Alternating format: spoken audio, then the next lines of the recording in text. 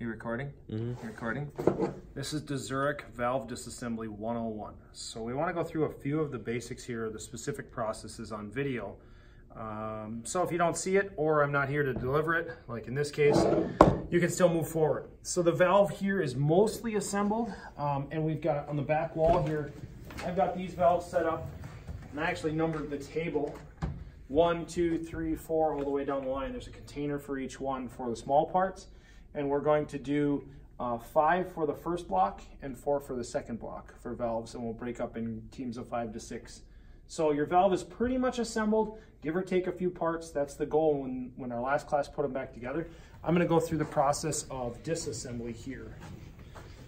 And um, first of all, fasteners on this. We want you to figure out what style and size fasteners these are, metric or standard um, specifically what's the thread pitch, all that kind of stuff. But you find the right wrench for the job, loosen this set screw nut here, and you're gonna slide the handle off the top. Now the handle stays as a sub-assembly. Why? Because the handle, the releasing lever, and the spring are really difficult to get back together once we punch this roll pin out. Come in close, zoom in. This is a roll pin, so you would drive it out with the drift or a punch like this. But getting this back together is difficult, so we leave this as a sub-assembly. Call it good. We have all these individual parts to use to measure off of. So we set this aside, okay, and that is as far as that needs to go. There should be four bolts holding your uh, plate in on the top. You can take those loose now. I've just got one in here to expedite, and I've got it finger tight.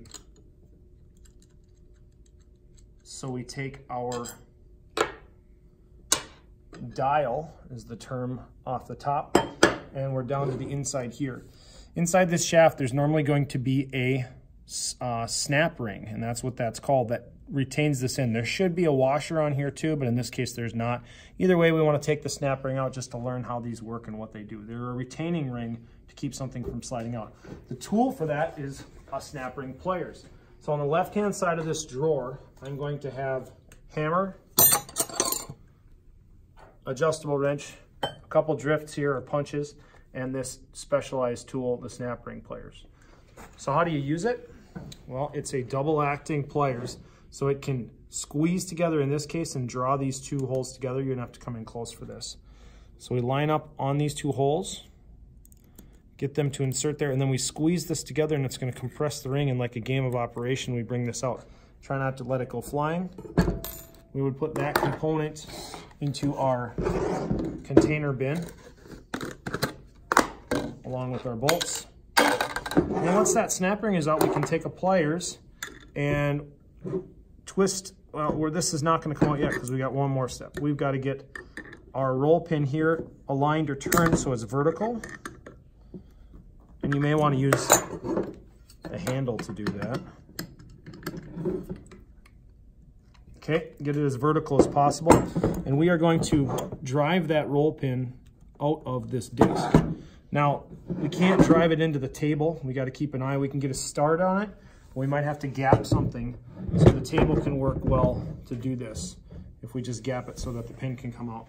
So we need a hammer and a drift. We're going to line up on this roll pin. I can use my finger as a guide. We have to hit it fairly hard to get it to move. We can see we're driving it close to flush now. And then as we get it close to all the way out, oh, it already fell out. We don't want to lose it on the floor. So that is our roll pin.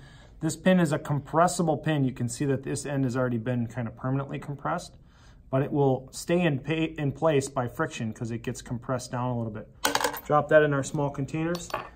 Next step is to pull the shaft out of the valve body. So you should be able to clamp onto this with the pliers. Twist and pull might be a two-person action.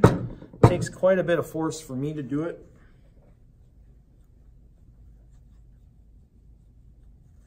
Okay, that is out. Won't fit in there, but we'll put it in there. now we've got to take our uh, disc out of here too. And it's been beaten on before, I won't lie. Um, there's no doubt here. If we could use some kind of a sacrificial or softer punch like brass would be ideal. Uh, that would help. Or we can knock it out here, okay? And our disc comes out. Now what's left in the valve body, the data plate is gonna stay on there. We can measure that in place. The gasket, we've got a couple spare gaskets. So if you were assigned to the gasket, this one we've gotten out of here without destroying it. These gaskets are actually glued into place and there's another, uh, another piece in between here called the fiber disc. And I'll show you an example of that. This is kind of a cool example of a quarter section here. And if we look at the inside of this, it's smooth, okay, uh, fully open and flat.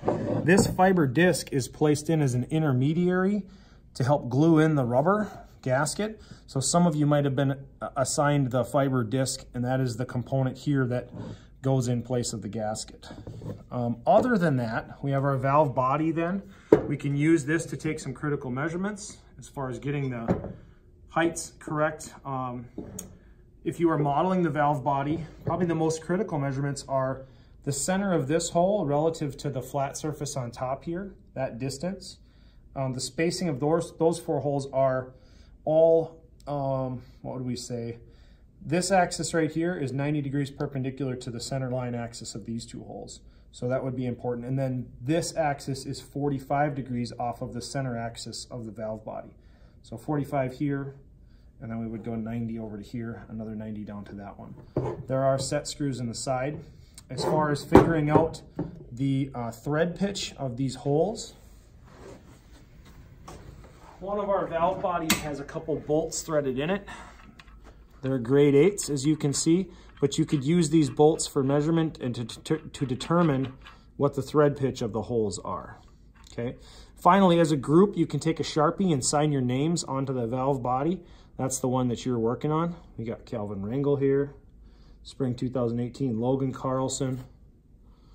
Who else is on here? Seth Jenkins, Tegan South. Tegan's still in the house. Uh, so you sign your name. When you get it completely disassembled, then we will leave the major components along the back wall here, kind of where, where their parking spot is, okay? And you can take your individual component and start taking critical measurements. The measurements should be taken with a dial caliper.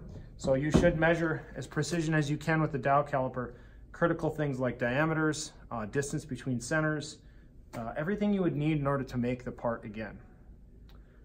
What am I missing? Put tools away when you're done. Uh, back into the toolbox for the second block class. There are some free or loose components in here. As I had mentioned, extra dial, shaft, top handle, releasing lever. So if you got assigned these parts, uh, it may be better, and valve bodies. Sometimes those who got assigned valve bodies want to check one out, take it home that's fine too, okay? So there are some loose parts in here too if you got assigned an additional part or there's two people in your group that have the same part. Otherwise, uh, that's gonna keep you busy. Once you get fully disassembled, you would find your component, take measurements, sketch that in your notebook, annotate that with the correct measurements, and then start modeling it in Fusion. Scene.